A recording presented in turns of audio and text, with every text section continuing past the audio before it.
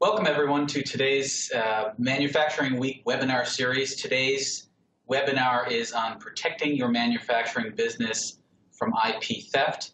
My name is Jeremy Oczek. I'm a member of the firm at Bond Schoeneck King. I practice in the intellectual property department and I will be presenting today's seminar. This seminar is part of the uh, Manufacturing Week webinar series. Uh, this is the second in a series of five presentations. Yesterday's presentation was on cybersecurity. Tomorrow's presentation uh, will be on wage and hour traps for the manufacturing industry. Thursday's presentation is on avoiding OSHA liabilities. And Friday concludes uh, with a session on immigration issues in the manufacturing industry.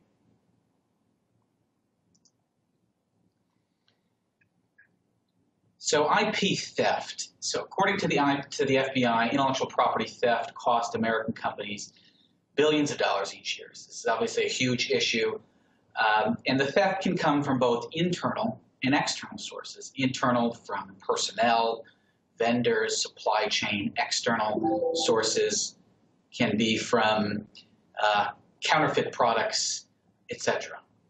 And so manufacturing companies are especially prone to damage from IP theft um, due to stolen designs, business intelligence, counterfeit products, etc.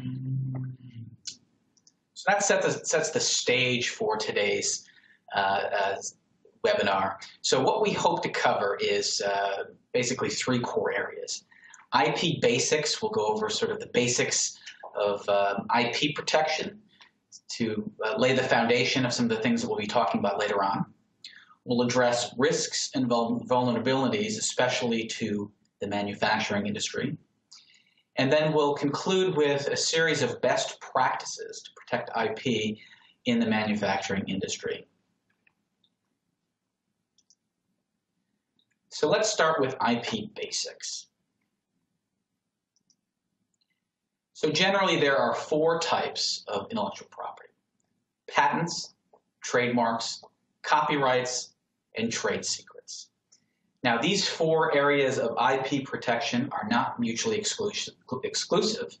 In fact, uh, it's possible to have each type of these intellectual property protections uh, cover a certain aspect of your manufacturing products. For example, you could have a patented product that you manufacture. That patented product could be branded and protected with trademarks. You may supply instruction manuals or training manuals with those with that patent product, which could be copyrighted. And there may be trade secrets that go into the production of that patented product. And so it's possible um, for any one or all four of these IP protections to protect uh, manufactured goods and the associated processes uh, used to make those goods. So let's delve in a little bit deeper into each of these four areas. Let's start with patents. So what is a patent?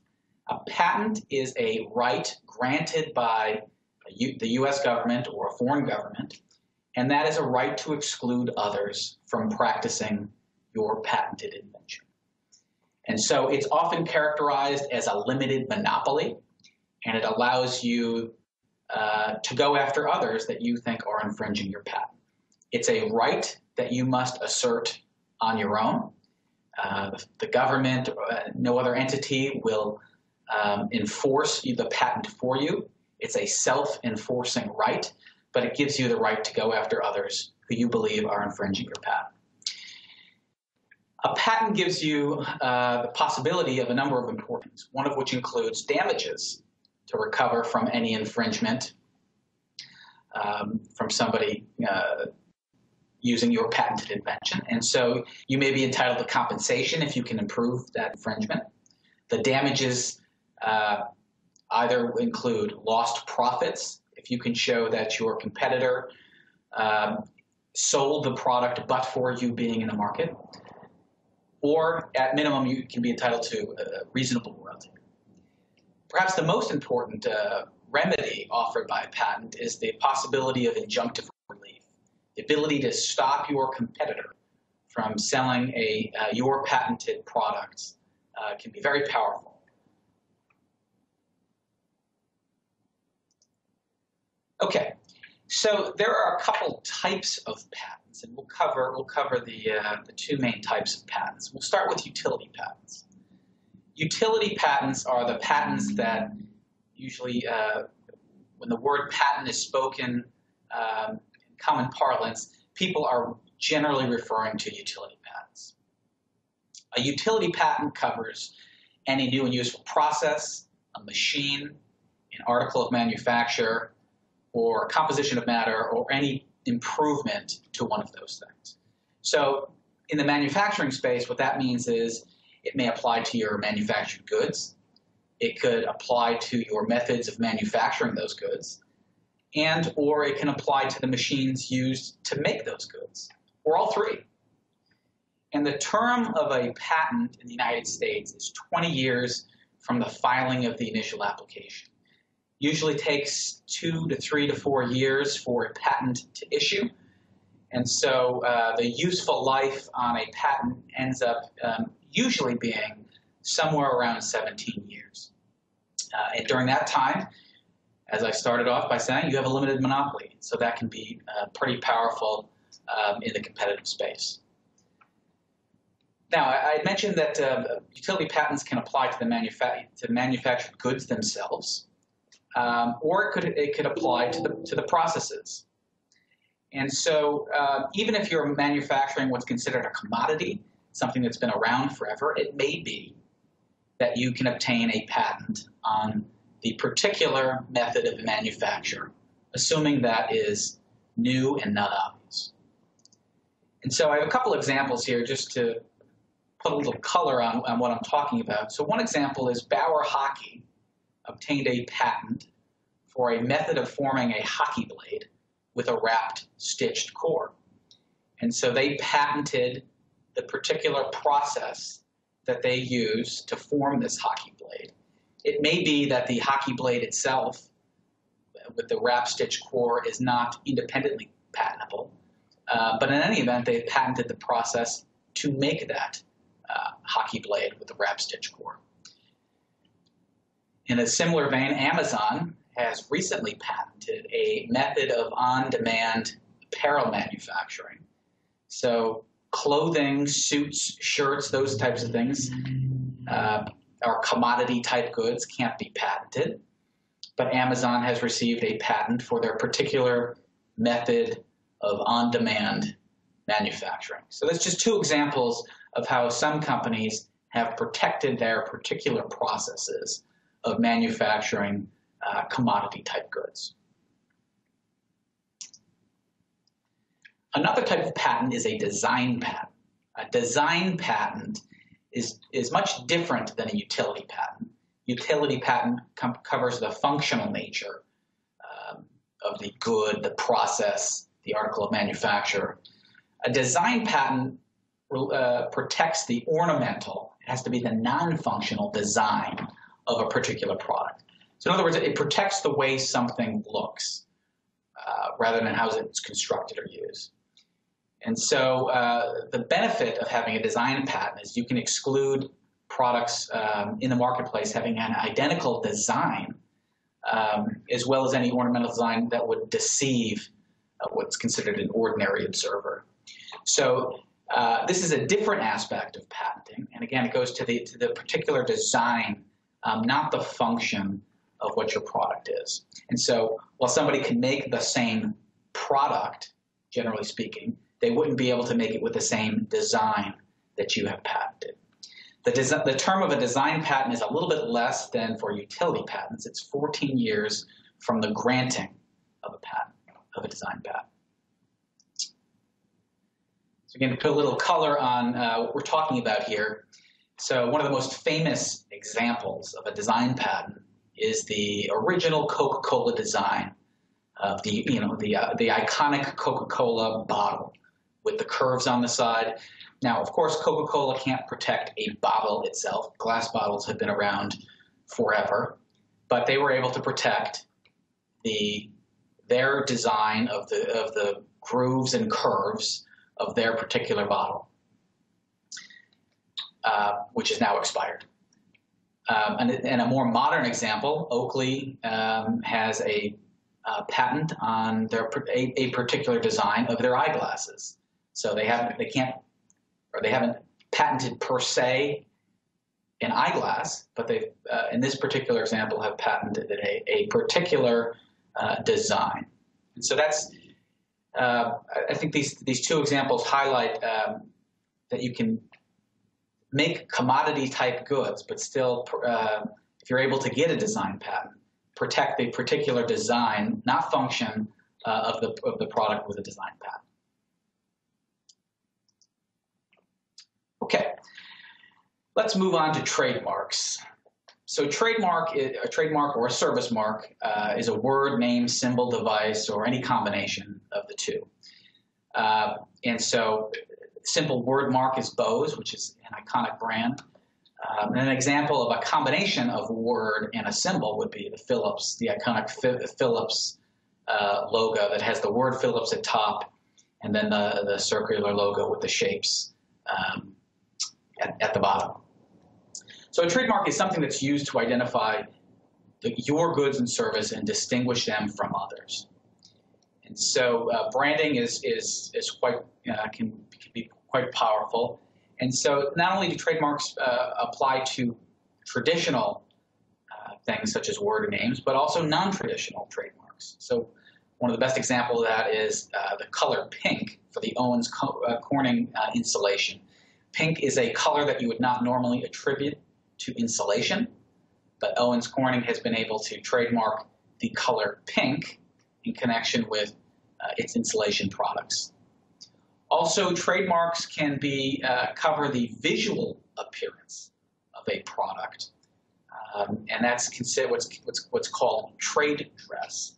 And so, a recent example of that is Apple was able to trademark the its particular design and layout as trade dress for its Apple Store.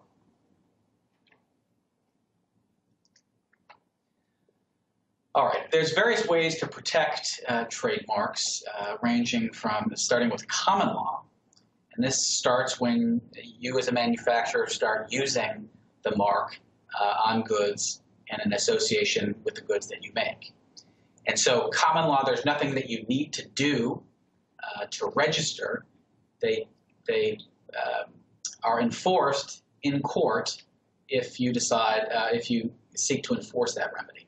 So there are, there are many more proofs that you need to bring in court to enforce what's considered a common law mark, but there may be rights that uh, are derived from using the mark uh, for an established period of time. There's also the possibility of state registration. Each state maintains its own register, and that can be enforced under state law.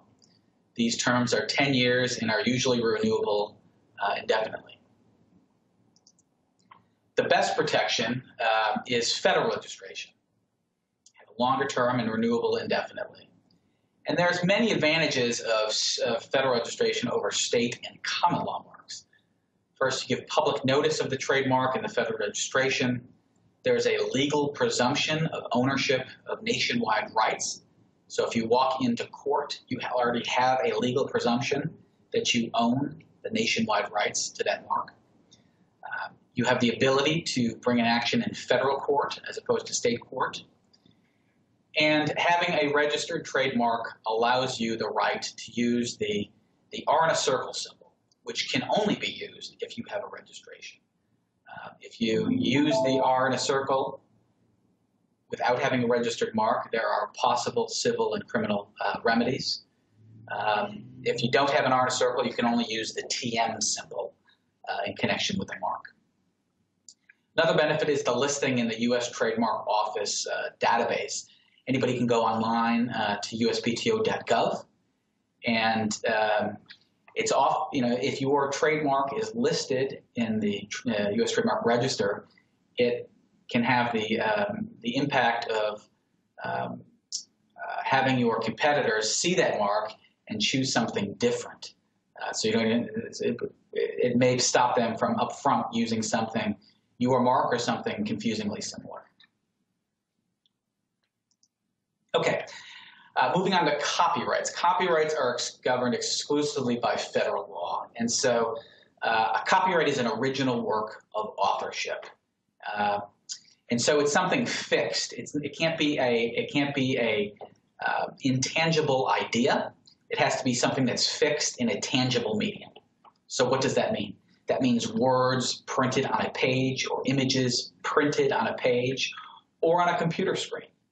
So anything that's fixed to uh, a, a, visual image or a printed image is protected by copyright. And so copyright gives you many rights, including the ability to re reproduce that copyrighted work, make derivative works. A derivative work is something that derives from or borrows from that copyrighted work. And it allows you to distribute copies of that copyrighted work. It gives you that bundle of rights um, that are associated with copyright. So um, in the manufacturing industry, what that means is it can protect any uh, variety of written materials. It can, it can protect product manuals, brochures, packaging, catalogs, articles, uh, any white papers that your company uh, produces, presentation, training materials, uh, and it also may apply to computer software and documentation that goes with that software. So really a wide variety of different types of materials uh, that could be uh, subject to copyright protection.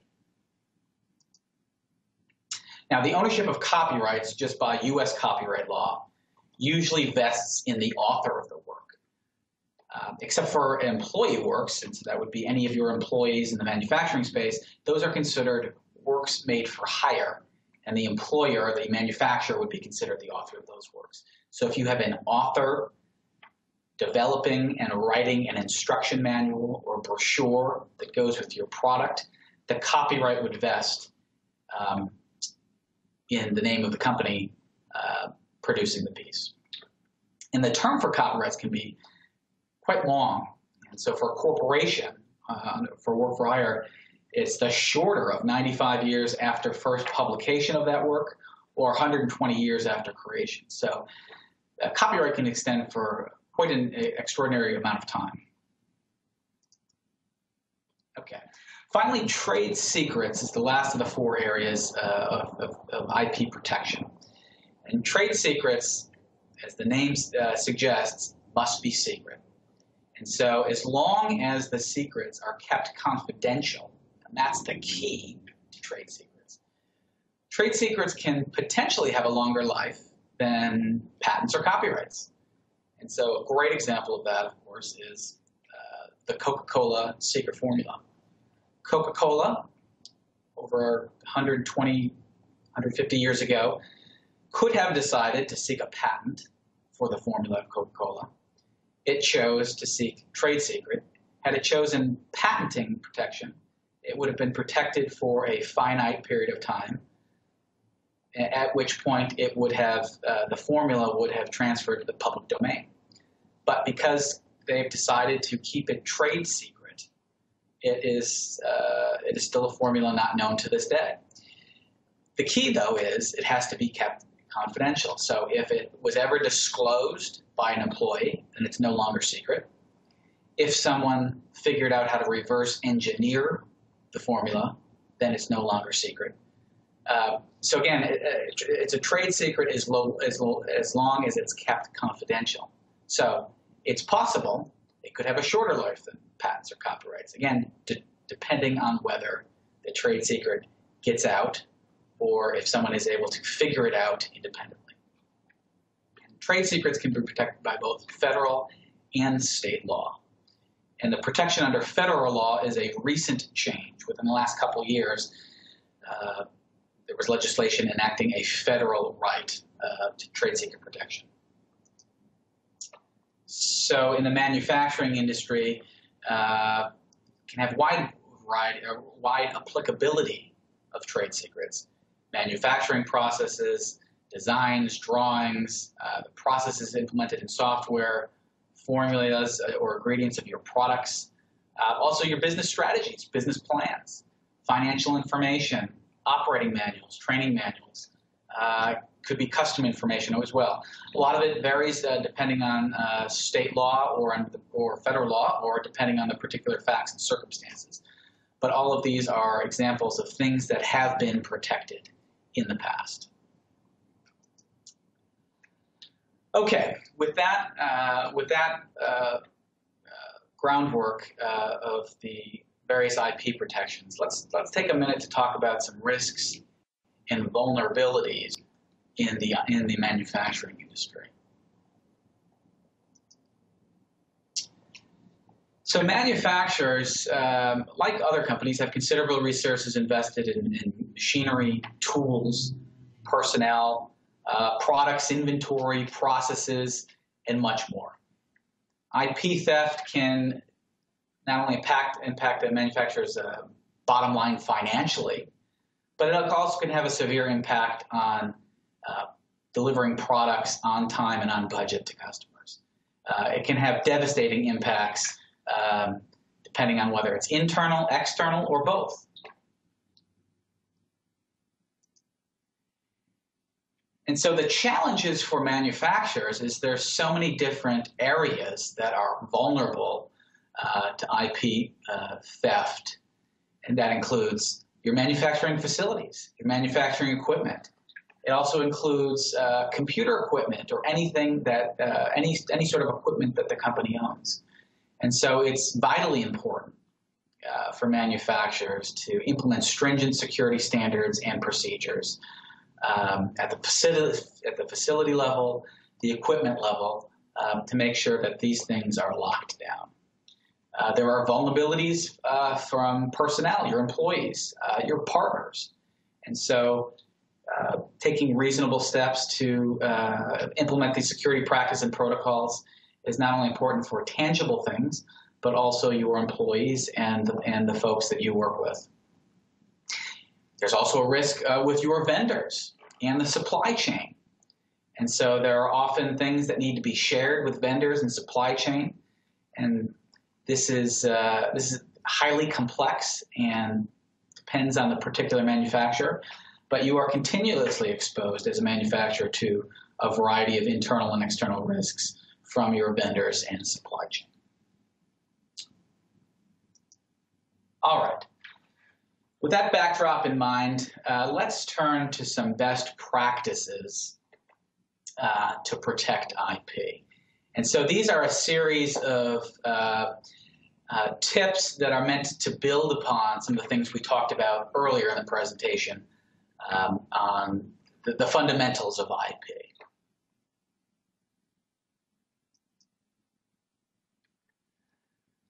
Okay, so here's what we, here's what we plan to cover is um, and, and th these six uh, best practices are meant to be um, covered from a comprehensive standpoint. So all of these together form a comprehensive strategy to protecting IP.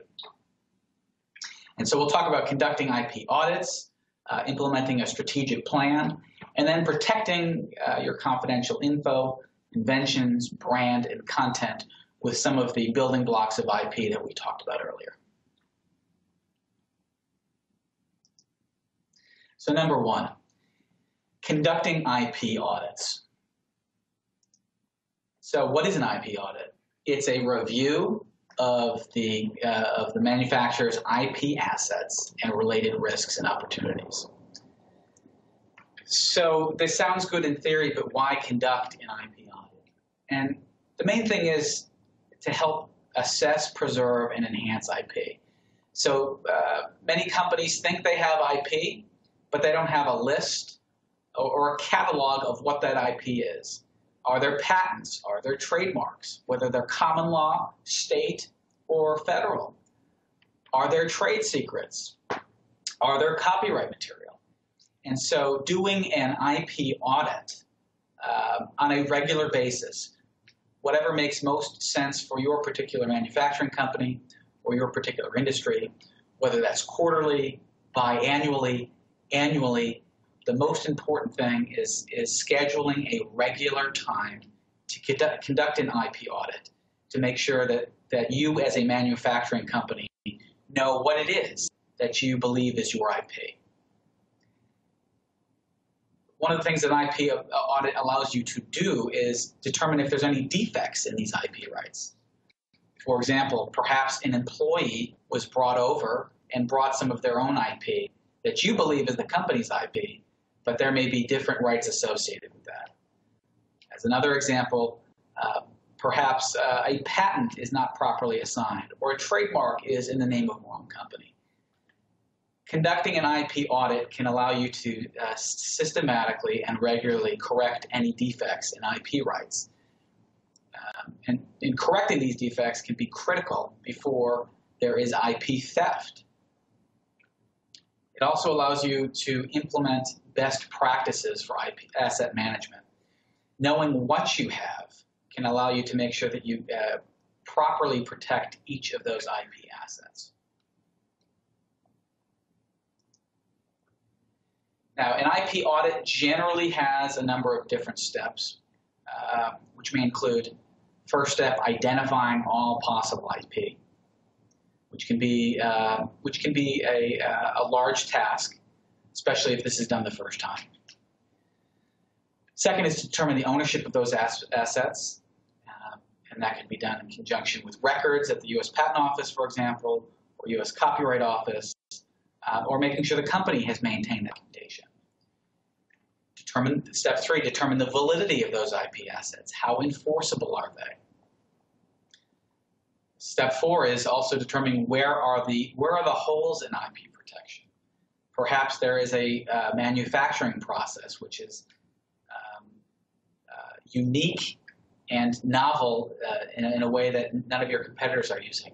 Perhaps you haven't sought protection for it, and in this process, this process of an IP audit will allow you uh, to identify those things uh, and to shore protection in areas where there's not IP protection.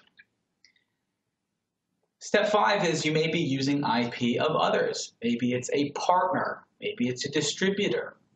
Um, and this, this IP audit will allow you to correct the usage, you know, correct, to verify correct usage of any third party IP. There are other steps that you can also conduct uh, doing qualitative measures of, of the value of your IP and also analyze third-party risks. But the most important thing is doing an IP audit at a systematic um, and regular interval. Okay. On a related note to conducting an IP audit is once you have um, the results of the audit in place, it's then taking that to the next step and implementing a strategic IP plan. So every every business has some form of business plan. And so the strategic IP plan fits in hand in hand with the business plan. It's uh, the strategic IP plan is meant to prompt the development, acquisition, maintenance, and exploitation of IP assets just as a business plan would do with material assets. And so this is going to vary from manufacturer to manufacturer, but it's meant to set a strategic, um, forward-thinking plan of how your company uh, plans to protect its IP, not only today, but going forward in the future. And so as an important component of the IP plan, it's um, establishing that infrastructure internally. And so many companies, manufacturers will, will uh, establish an IP committee, which uh, may involve many different voices. Could be technical voices, could be production voices. Um, it could include attorneys. It could include uh, include business folks. But there can be many different voices um, in that committee um, to help implement a strategic plan going forward to determine how much protection, how often protection to seek, um, having a plan that's hand in hand with a business plan um, is critical to protecting these IP assets in the manufacturing industry. Okay. With this, once you have the IP audit conducted, you have the strategic plan in place. Now it's important to uh, take a deeper dive and protect the different facets of, of uh, protectable IP in your manufacturing business. So first and foremost, um, for many manufacturers, is protecting the confidential. It may not be that your um, particular good that you're making is could be patent protected. It may be that you can't patent the method. Um, and so trade secrets uh, often take on uh, critical importance in the manufacturing space. And so uh, trade secrets has also taken on critical importance in the last couple of years. As I mentioned earlier, there's now federal protection in addition to state protection for trade secrets. And so one of the most critical things to trade secrets is many businesses, many manufacturers uh, believe that they have trade secrets. Um, and it, it's critical to get out in front and identify, just as you would with patented te technology, identify what it is that you think are your company's trade secrets. So many companies um, are taking the affirmative step of cataloging trade secrets and cataloging them just like they would in invention disclosure in a, in a database that identify who knows the trade secrets, what the trade secret is, um, who, you know, who has access to the trade secret, and what steps are going to be taken to, uh, to limit access. Perhaps it's a encrypted document that only a select number of people at the company can access.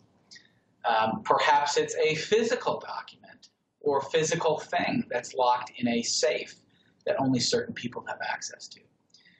Identifying and cataloging the trade secrets allows you to systematically um, come up with a plan to determine how you're going to keep these trade secrets confidential.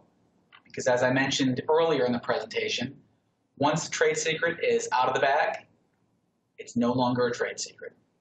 And so the more progressive companies and progressive manufacturers are taking the affirmative steps to identify and catalog the trade secrets. Before it's too late, before an employee leaves uh, and takes a whole bunch of information, and you're trying to determine if that's trade secret or not. If you have a catalog in place, then if you are uh, have to face the unfortunate incident of IP theft, you can easily turn to the catalog to determine what was taken, when it was taken, who, who took it, and, and whether or not they had proper access to it.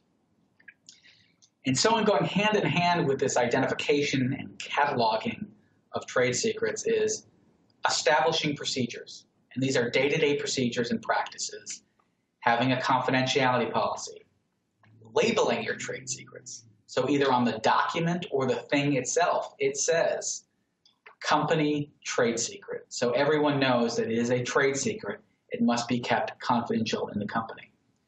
And as I mentioned, limiting physical and electronic access to trade secrets. If every employee at the company has access to a trade secret, it may no longer be a trade secret in the, in the near future. If you limit that trade secret on a need to know basis, it increases the possibility that that, that thing will be kept as a trade secret. On a related note, it's important to establish exit procedures and practices.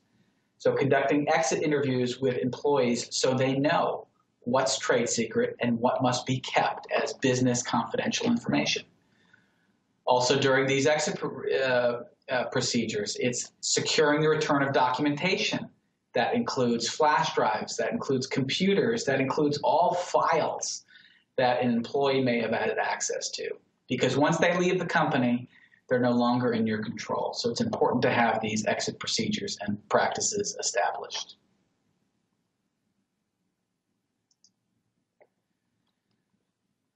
On that note, it's, uh, it's, it's, it's good practice to have employee agreements uh, especially with key employees who have access to these confidential trade secrets.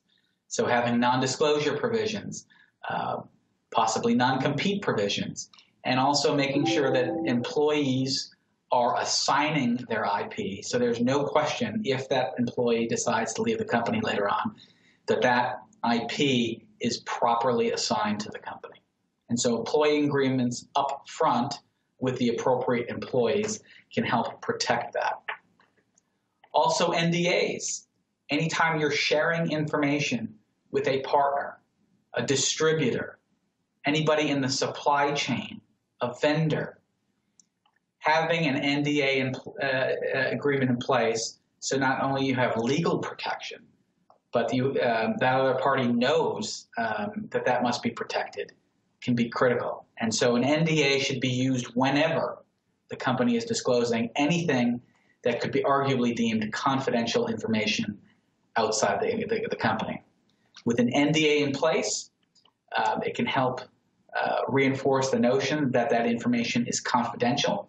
Without an NDA in place, and you disclose that information, it's no longer confidential and it can no longer be a trade secret.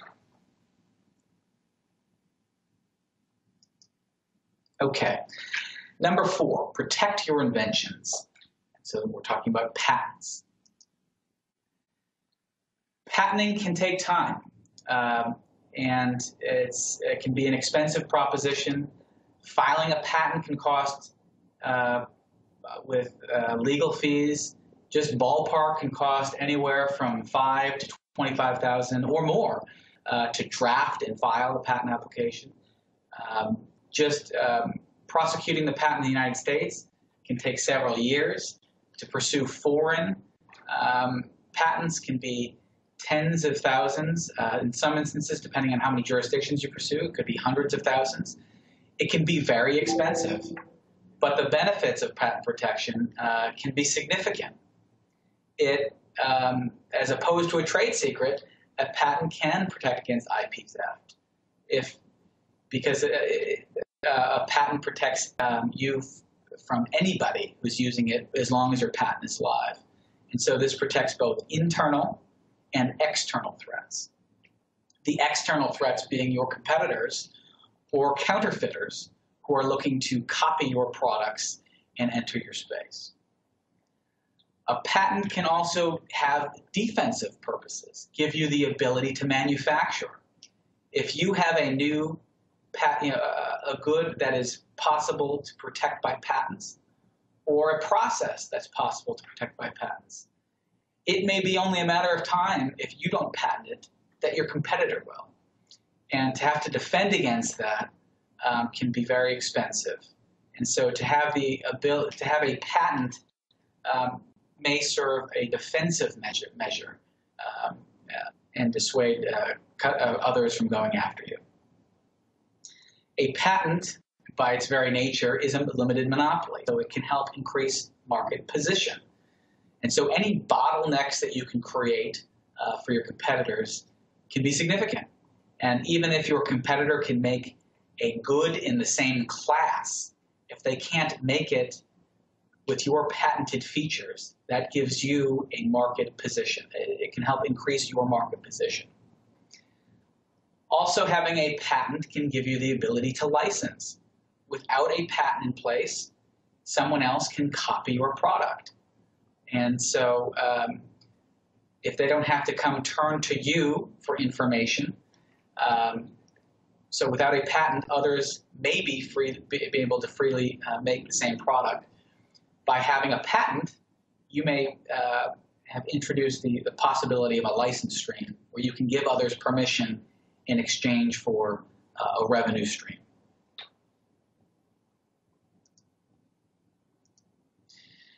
So we touched upon at the beginning the different types of patents, and these are uh, utility and design have uh, protect quite different things.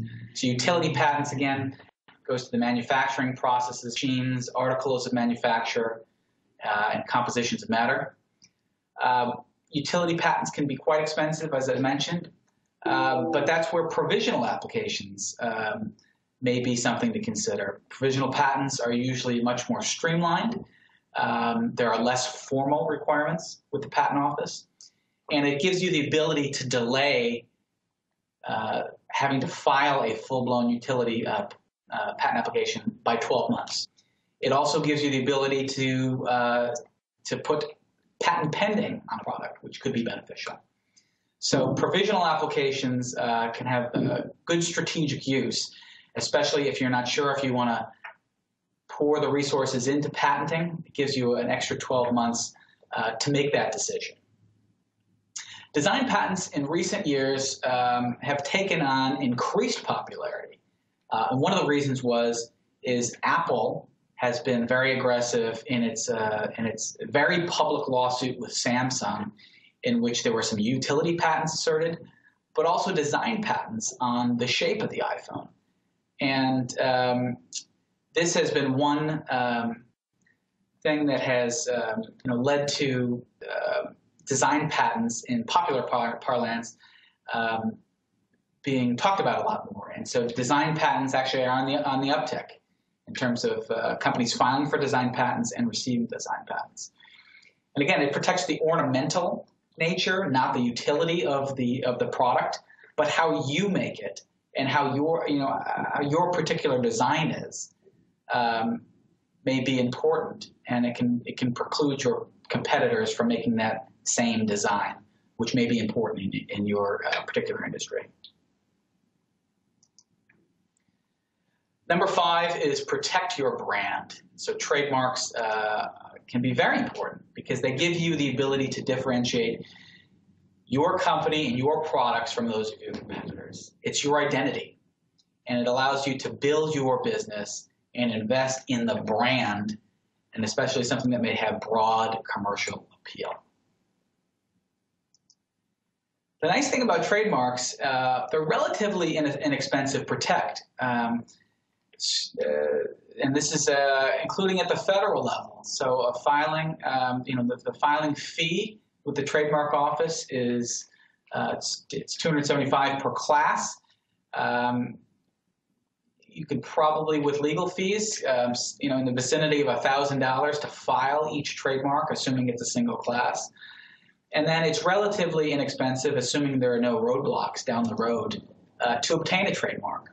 And so uh, you know, trademarks are something that uh, unfortunately some manufacturers think of too late. It's when their competitor has adopted um, a, a, you know a name that they give to a line of goods for their as you know as their own. Having a, for, a federal registration in place uh, can be can be critical to precluding that competitor from using that same name or confusingly similar name and it, it can be uh, critical to preventing marketplace con uh, confusion. The nice thing with a federal registration is it, is it gives you presumptive nationwide rights. And, and, and especially in today's internet space where goods are sold nationwide very easily through Amazon or others uh, online sellers or directly from a manufacturer nationwide.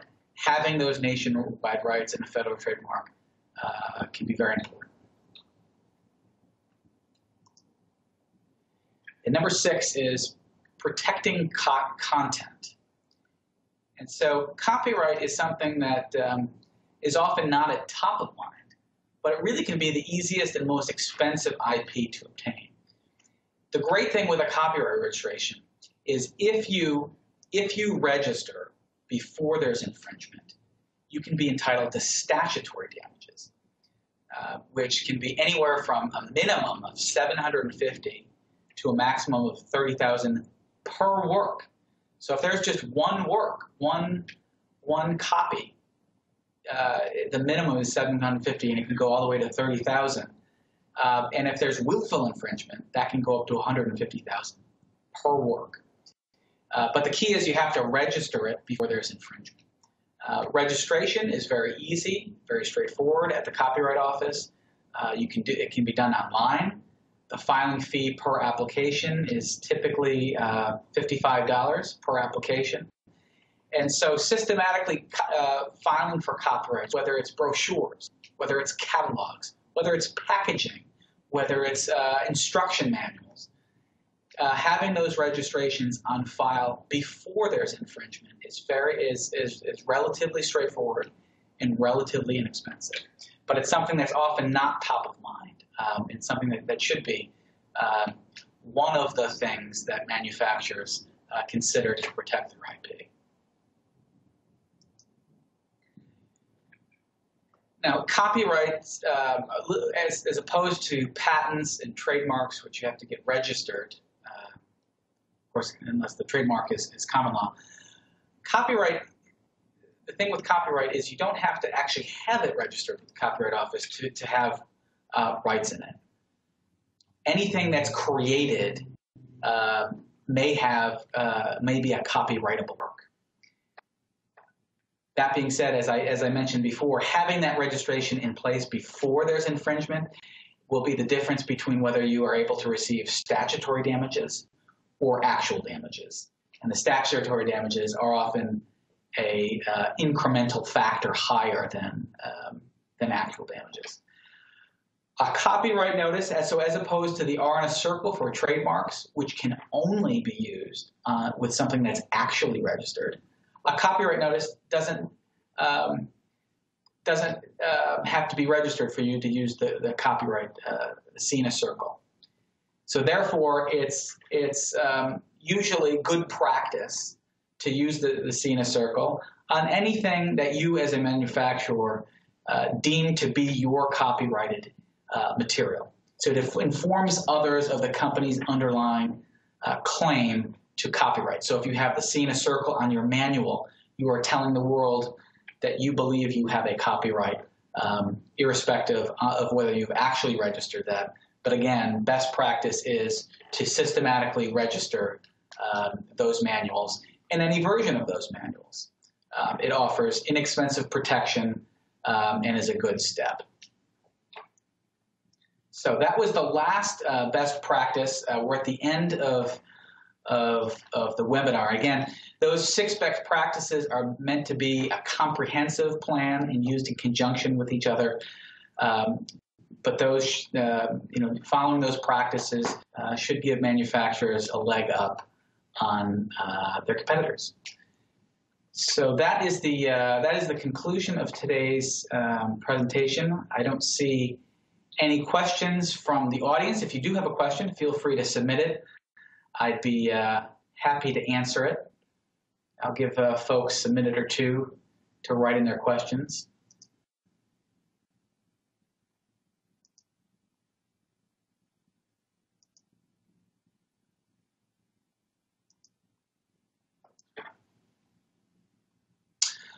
Okay, well, thank you everyone for attending. I uh, hope you found this useful. And uh, if you I encourage you to, to uh, register and view the, the, remaining parts of the series of our um, manufacturing series, which uh, progresses from Wednesday, Thursday, and Friday this week. Thank you very much.